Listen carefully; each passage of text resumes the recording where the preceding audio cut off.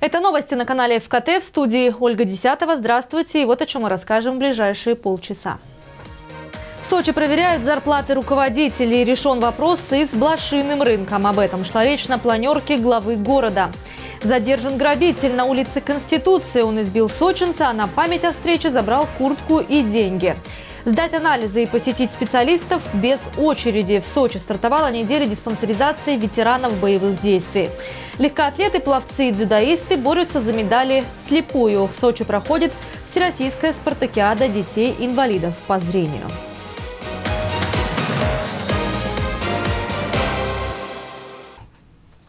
Санкции против России нужно отменить. Об этом заявил министр экономики Нижней Саксонии, второй по площади территории в Германии.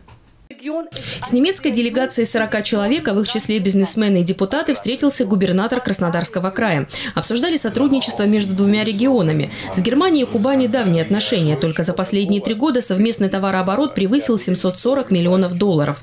Однако доли производства здесь немного. Край практически только завозит к себе импортные товары. Партнерские отношения могут быть шире, считает Вениамин Кондратьев. Краснодарский край заинтересован не только покупать, но и производить э, вот эти товары здесь. По немецким технологиям в рамках совместных предприятий или инвестиционных проектов. Поэтому мы создаем максимальные условия для инвесторов в нашем крае. Краснодарский край заинтересован в экспорте в Германию древесины, продукции сельхозпереработки, удобрений, ну и оказание услуг по перевалке грузов, потому что у нас э, два моря, очень серьезная развитая транспортная инфраструктура. Дорожно-строительное направление для нас тоже очень важно, потому что э, дорожная составляющая сегодня она у нас тоже очень востребована, должна быть качественной, ну и, естественно, отвечать сегодня запросам автолюбителей со всей страны. Сейчас в Краснодарском крае работают 32 компании с немецким капиталом. Уже есть и те, кто локализовал свое производство. Plädiere ich auch sehr dafür, dass wir auch den Blick darauf richten, wie я призываю обе стороны побороть санкции и сделать несколько шагов вперед для того, чтобы не усиливать санкции в отношении России, а наоборот упразднить их. Наша встреча, она поспособствует тому, что мы сделаем первый шаг для того, чтобы наши отношения возобновились и наладим наше общение. Бизнес наиболее успешно э, развивается там, где есть понятие взаимовыгодного сотрудничества. Мы как раз за это. Мы готовы э, в каждом конкретном случае вести э, разговор и выстраивать э, отношения с конкретным бизнесом, с конкретным предприятием. Для этого на Кубани разработали систему льгот для инвесторов, в частности для тех, кто готов стать резидентом в региональных промышленных парках. Для зарубежных компаний действует и специальный инвестиционный контракт, заключив который иностранное предприятие приравнивается к российскому и может рассчитывать на соответствующую поддержку. Не принципиально важно, большой это будет инвестконтракт или маленький. Краснодарский край сегодня ищет партнеров среди немецкого бизнеса. И если не получится, то ниша партнерская с нашим краем не останется пустой. Но выиграет ли от этого немецкий бизнес или проиграет, ответьте себе искренне сами. Я всех призываю к конструктивному деловому сотрудничеству. Руководители немецких компаний, члены парламента Нижней Саксонии также посетили зарубежные предприятия, которые успешно работают в Краснодарском крае. Галина Моисеева, телекомпания ВКТ.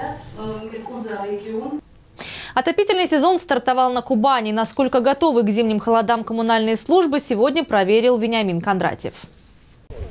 Глава региона посетил социальные объекты в Калининском районе. Тепло в школы и детские сады там начали подавать еще на прошлой неделе. Одно из зданий отапливает самая старая котельная в Калининской. Сегодня ее полностью реконструировали и установили новое оборудование. Когда ложили Вениамину Кондратьеву, в ближайшее время по краевой программе планируют реконструировать больше десятка котельных тепло в школах и в целом в детсадах и в квартирах людей никто не отменял. То есть максимально наваливаемся на то, чтобы не ждать, когда прорвется, а на самом деле э, вымещать старое новым, современным, это будет нормально. Будет тепло, будет э, кровь, будет пища. Это самое, что необходимо для того, чтобы мы просто продолжили жить в этих непростых экономических э, и отчасти политических условиях. После объезда соцобъектов Вениамин Кондратьев собрал совещание по подготовке к зиме. Прошло оно в режиме видеоселектора. На связь с губернатором вышли все главы районов и крупных городов. В Сочи проверяют зарплаты руководителей. В ближайшее время появится новый блошиный рынок. Как к концу следующего года построят пять школ. Эти и другие вопросы сегодня были рассмотрены во время планерного совещания главы города. Все подробности у Татьяны Говорковой. Началась планерка с объявления новых руководителей в трех отраслях курорта. С 12 октября на должность начальника управления культуры назначена Лидия Кузьмина. Прежде она руководила колледжем искусств. Бразды правления в предприятии «Сочи Автотранс» взяла Олеся Лукашевич, а «Сочи Теплоэнерго» по предложению «Газпрома» возглавил Евгений Виноградов. Как отметил глава курорта Анатолий Пахомов, эти руководители способны улучшить ситуацию на местах. Кстати, был поднят вопрос о сумме заработной платы начальников городских предприятий, акционерных обществ и других организаций, получающих субсидии от муниципалитета. Она не должна в несколько раз превышать оклад рядовых сотрудников и быть выше, чем 100 тысяч рублей. Соответствующая проверка проводится контрольными органами по всем отраслям.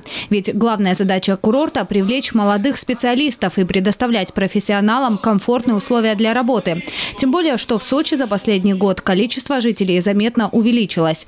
Со стороны города решается и проблема нехватки мест в образовательных учреждениях. В следующем году появятся новые школы. У нас должна быть построена еще одна школа на 400 мест в 11, на территории 11 школы, на территории 82 школы и на территории 15 школы. Задача следующего года, она должна быть уже в этом году понятна, и Сергей Иванович, и планировать финансирование, то есть на, на софинансирование. Это надо строить школу на Мамайке, мы готовы строить эти пять школ 2017 году. Продолжить разбираться нужно и в вопросе экологии курорта. В частности, на планерке затронули главную проблему сброса канализационных стоков. Борьба с недобросовестными жителями в Сочи ведется уже три года. Результат есть. Большинство подключились к центральным сетям, установили лосы. Но полторы тысячи объектов в Раздольском и Барановском сельских округах до сих пор продолжают обманным путем загрязнять экологию курорта. Мы до конца года планируем создать лабораторию, Антон Николаевич, с помощью которой мы будем отслеживать качество сбрасываемых переливов через э, лосы и через выгребные ямы.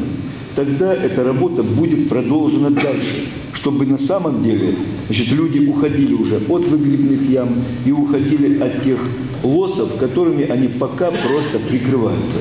Поэтому эту работу значит, над совершенствованием качества сброса мы будем продолжать. Еще одна острая тема – несанкционированная торговля на улицах. По поручению Анатолия Пахомова во всех районах установлены социальные ряды, где пенсионеры и местные фермеры могут продавать овощи и фрукты, собранные у себя на участках. Кроме того, в ближайшее время блошиный рынок должен исчезнуть с улицы Чайковского. Для него теперь выделено специальное место у Моремола. Сейчас там приступают к обустройству торговых точек. Подняли вопросы и о дополнительных парковках. Бесплатные машиноместа добавят на повороте с курортного проспекта на улицу Яна Фабрициуса. Планируется выделить участок и на улице Москвина. Завершилась планерка обсуждением улучшения дорожной обстановки в городе. Уже выполнен ямочный ремонт на 73 автомобильных участках в разных районах. До конца ноября ремонт дорожного покрытия будет произведен еще на 32 объектах улично-дорожной сети. Татьяна Говоркова, Михаил Дубинин, телекомпания «ФКТ». Среду воды не будет в нескольких сочинских поселках. С полудня 19 октября до двух ночи 20 октября будут проводиться плановые ремонтные работы на водоводе по улице Памирская в Головинке в районе насосной станции ЛАО. В это время будет понижено давление холодного водоснабжения вплоть до полного отсутствия воды в поселках ЛАО и Дагомыс. В Сочи прошла профилактическая операция «Внимание! Пешеход». Полицейские провели рейды, направленные на предупреждение ДТП с участием пешеходов. На нарушителей инспекторы составляли административные протоколы и рассказывали статистику ДТП. Согласно данным госавтоинспекции, за 9 месяцев этого года в Сочи зарегистрировано 125 дорожно-транспортных происшествий с участием пешеходов, в которых 18 человек погибли и 117 получили ранения различной степени тяжести. В завершении профилактической беседы всем участникам дорожного движения вручили тематические листовки. В Сочи полицейскими задержан подозреваемый в грабеже. Вечером к сотрудникам полиции, патрулирующим центральный район, обратился местный житель. Он рассказал, что во дворе дома на улице Конституции на него напал неизвестный мужчина. Избив сочинца, незнакомец снял с него куртку, в кармане которой находились 10 тысяч рублей, и убежал. Со слов потерпевшего была составлена ориентировка. В результате недалеко от места совершения преступления сотрудниками ППС был задержан мужчина, похожий на разыскиваемого. При личном досмотре 35-летнего приезжего из соседнего региона сотрудники полиции обнаружили похищенную куртку и деньги, принадлежащие потерпевшему. В отношении подозреваемого возбуждено уголовное дело. Санкции статьи предусматривают максимальное наказание в виде лишения свободы на срок до 7 лет. В Сочи выявлено около 10 нарушений в продаже табачных изделий около учебных заведений. Согласно 15 федеральному закону, реализация может вестись не ближе, чем в 100 метрах от школ, детских садов и вузов. Это расстояние отсчитывается по радиусу, а не по пешеходной зоне. Об этом еще раз напомнили представителям торговых предприятий. Это уже седьмое семинар-совещание, которое проводится Департаментом потребительской сферы и регулирования рынка алкоголя Краснодарского края совместно с представителями Роспотребнадзора. Во всех муниципалитетах края идет масштабная проверка выполнения 15-го федерального закона. Он запрещает реализацию табачных и алкогольных изделий несовершеннолетним. Кроме того, продажа сигарет и спиртного может вестись не ближе, чем в 100-метровой зоне от учебных заведений. У нас а, проведено обследование в 29 муниципальных образованиях по Краснодарскому краю. На данный момент у нас проводится обследование по муниципальному образованию город Краснодар и город Сочи. То есть 12 числа у нас было проведено первое информационно-техническое наблюдение по городу Сочи. Э, были определены, выявлены, естественно, факты, но хочется сказать, что в принципе по городу Сочи ситуация э, конечно, она требует улучшения, но сказать ее катастрофи катастрофической тоже не назовешь. Если в целом по краю приходится до 80% нарушения, то в Сочи этот показатель составляет не выше 30%. Из семи выявленных нарушений пять нареканий проверяющих вызвал микрорайон Бытха. Реализация табака и алкогольной продукции на улицах Ворошиловская и Сногорская ведется, игнорируя правила федерального закона, а значит предпринимателям грозят штрафы до 150 тысяч рублей. В случае, если 100-метровая зона соблюдена, но за сигаретами приходит подросток, тут уже ответственность продавца-кассира. Им трудно продавцам. Закон-то есть, а как его быстро, эффективно, четко, вежливо, бесконфликтно реализовать каждый день, когда приходят иногда агрессивные и конфликтные покупатели. Вот это задача, над которой мы работаем с продавцами-кассирами.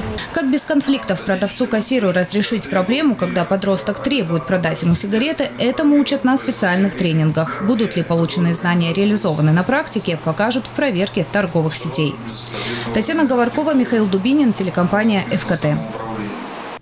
В Сочи стартовала неделя диспансеризации ветеранов боевых действий. Организованные группы афганцев вплоть до пятницы смогут сдать анализы и пройти обследование у целого ряда врачей. Пройти медицинское обследование в короткий срок, без очередей, в отдельно отведенное время. Таковы условия недели диспансеризации ветеранов боевых действий. Первый в списке терапевт. Врач проводит опрос, измеряет давление, спрашивает о жалобах этих особых пациентов. Учитывая э, перенесенный стресс, перенесенные нагрузки, э, возможно, полученные травмы. Безусловно, данный контингент э, имеет повышенный риск развития, в первую очередь, сердечно-сосудистых заболеваний. В программе диспансеризации ФЛГ биохимически развернутый клинический анализ крови, который позволяет диагностировать различные патологические состояния. Врачи проводят и электрокардиографическое исследование. Все эти обследования позволяют выявить наличие заболеваний на ранних стадиях, особенно риск развития сердечно-сосудистых, гипертонической и ишемической болезней сердца. При необходимости врачи выписывают направление на более детальное исследование. Тех, кого мы обзвонили, все здесь, и они по всем поликлиникам, и на Донской, и на Пирогова, и здесь, и в Центральной. То есть это по 3-4 человека в день получается. Наша заинтересованность, чтобы наши братья, наши афганцы прошли диспансеризацию, кому-то нужна помощь, кого-то мы можем отправить в Краснодар, в госпиталь, вот, кого-то может в Москву. Потому что у нас есть такие полномочия, у нас есть такие квоты. Пройти диспансеризацию ветераны боевых действий смогут до конца этой недели. Для этого нужно обратиться в поликлинику по месту жительства. Только в центральном районе в таком обследовании должны принять участие около 200 участников военных конфликтов. К слову, такую специализированную диспансеризацию в Сочи проводят уже второй год подряд. Галина Моисеева, Ольга Десятого, Алексей Давыдов, телекомпания ВКТ. Сочи грядут большие гастроли Свердловской мускомедии, так называемые гранд-гастроли обладателя 17 национальных театральных премий «Золотая маска» на сцене Зимнего театра пройдут с сентября по октябрь 2017 года. Ну а подготовку, которая в городе продлится 8 месяцев, Свердловский государственный академический театр начал уже сегодня. В период бархатного сезона 2017 Свердловская мускомедия представит сочинскому зрителю 11 постановок. Это и музыкальный блокбастер «Екатерина Великая», лучший отечественный мюзикл десятилетия «Мертвые души» и образец музыкального ретро «Парк советского периода». А еще ряд оперет и спектаклей. Готовясь к визиту в Сочи, екатеринбургская труппа со всей тщательностью отнеслась к выбору гастрольного репертуара. В итоге получилась афиша, которая должна заинтересовать самого искушенного зрителя. Мы для сочинцев, а не для курортников.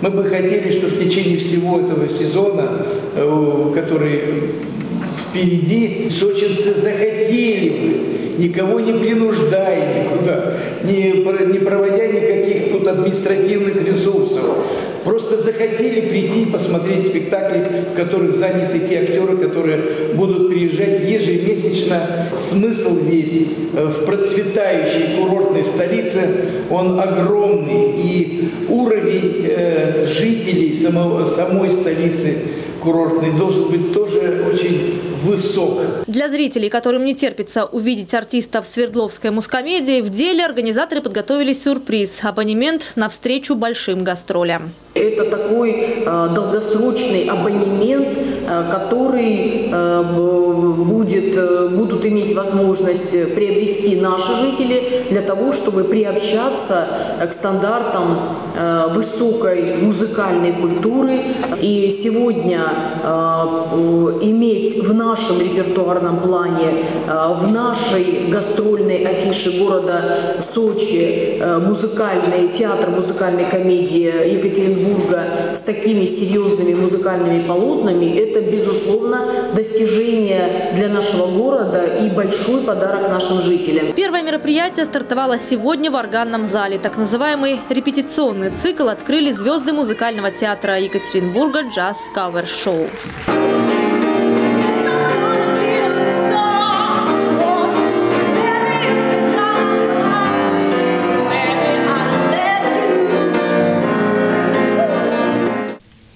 Сегодня в Сочи открылась 15-я юбилейная выставка-ярмарка «Православие».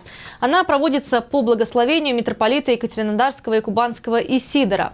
Традиционно организатором выставки является компания «Соут Сочинские выставки». Всегда выставка православия собирает огромное количество людей. Это не только сочинцы, но и гости курорта.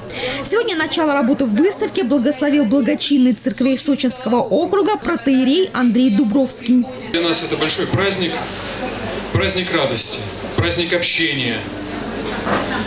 Более того, эта выставка юбилейная, 15-я, посвящена празднованию и Дня народного единства и Казанской иконе Пресвятой Богородицы. Сегодня в этот день я хотел бы и организаторам, и участникам этой выставки передать благословение Его Высокопреосвященства, митрополита Екатеринодарского и Кубанского Исидора, и объявить эту выставку открытой. Сердечно благодарю вас, Божьей помощи и укрепления и успехов в нашем общем деле.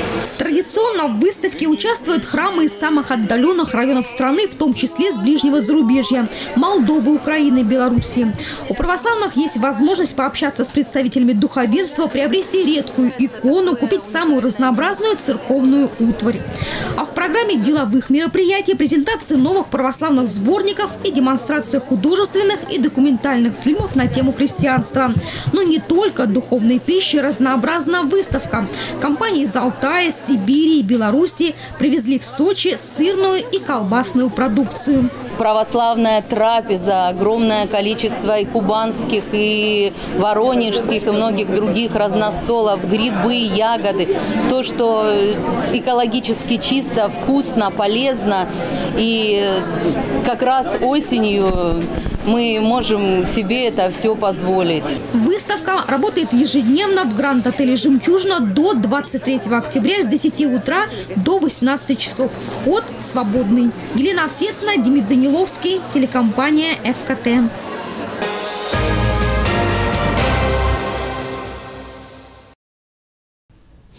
Легкоатлеты, пловцы и дзюдоисты со всей страны борются за сочинский пьедестал почета. Вот только соревнуются они вслепую.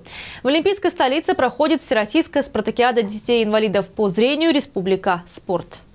17 лет подряд спартакиаду для детей-инвалидов по зрению проводит Федерация спорта слепых. Это старейшая организация, которая в следующем году отметит свое 60-летие.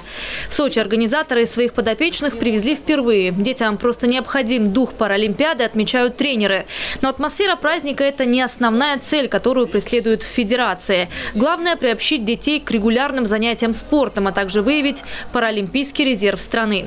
Все это помогает юным спортсменам с ограниченными возможностями возможностями здоровья, реализовать себя как личность и почувствовать равными среди здоровых. Я всегда привожу фразу, которую много лет назад сказали ребята из Оренбургской школы. Они приехали первый раз и проиграли. Подошли, говорят, мы будем целый год тренироваться, чтобы приехать и победить.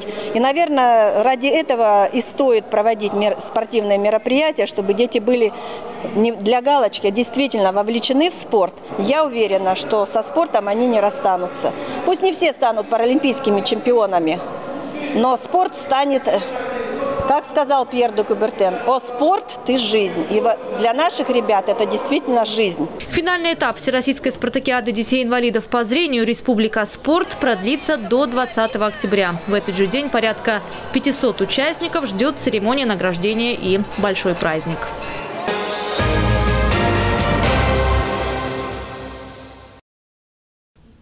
На православной выставке, открывшейся в Гранд-отеле «Жемчужина», традиционно представлена рыбная продукция с Камчатки. Сочинцам полюбились дальневосточные деликатесы. Они не только вкусные, но и очень полезные, особенно в осенний период. Белорыбица, кижуч, палтус, нерка и кита. Более 30 разновидностей копченой рыбы и морепродуктов. И, конечно же, настоящая красная икра. Ассортимент удивит не только хорошую хозяйку, но и опытного повара. И это лишь часть деликатесов, которые привезли сочинцам рыболовы Камчатки. Качество и свежесть продуктов достигается благодаря особой технологии приготовления.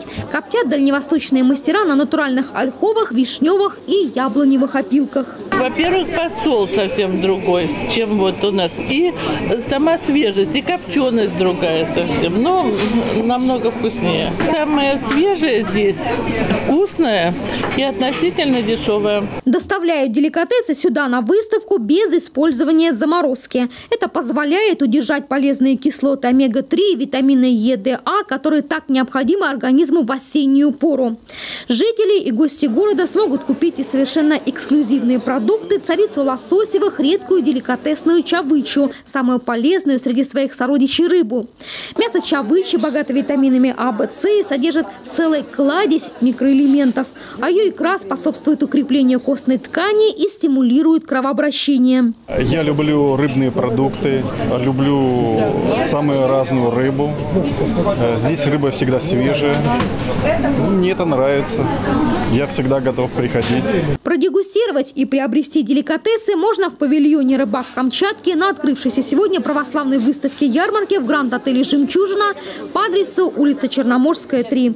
Выставка будет работать до 23 октября. Елена Овсецина, Демид Даниловский, телекомпания «ФКТ». В условиях современной жизни от стрессов не избавиться. Тяжелое пробуждение по утрам, усталость, раздражительность, боль в спине, в сердце или в суставах. Все это признаки того, что необходимо срочно заняться своим здоровьем. Помочь в этом сочинцам готов санаторий «Знания». В одном из ведущих санаториев курорта гарантируют всего 3-4 дня, и вы будете бодры и оптимистичны. Курс на 4 дня позволит сохранить этот эффект 2-3 месяца. Неделя в санатории позволит запастись здоровьем и жизненной энергией примерно на полгода. Курс на 14 дней даст запас сил на целый год. Это достигается с помощью лечебных методик, разработанных курортологами. Это массажи, ванны, термальные процедуры, магнита и лазеротерапия. И все это по уникальной стоимости от 1400 рублей в сутки, включая проживание, питание, бассейн и лечебные процедуры. Специально для жителей и гостей Сочи санаторий знания проводит 31 октября День открытых дверей. Можно будет ознакомиться с лечебной базой и номерным фондом, увидеть вечно зеленый дендропарк и получить всю важную информацию. Начало в 15 часов. Ну и в завершении выпуска информация от наших партнеров. Сеть салонов ткани для дома предлагает широкий ассортимент тканей, текстиль, постельное белье, пошив, штор на заказ. Ну а все новости уже на нашем сайте fkt.com. На этом я с вами прощаюсь. В студии была Ольга Десятова. Всего доброго и до встречи в эфире.